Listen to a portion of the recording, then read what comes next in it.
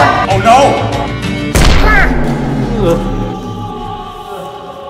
no! Okay, fine, James the Blaze.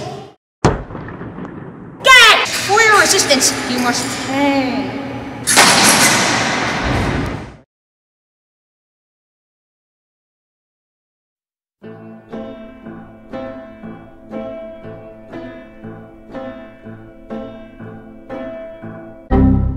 What? What the hell happened to him? I, I never liked him anyway. Who the hell are you?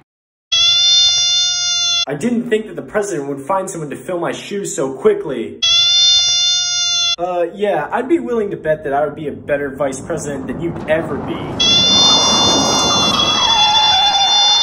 Oh, uh, I'm just giving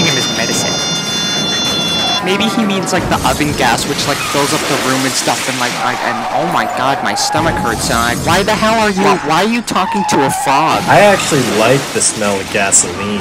No, like, like, uh, like, like something's like seriously going on here. Like, uh, I don't feel so good. what the fuck?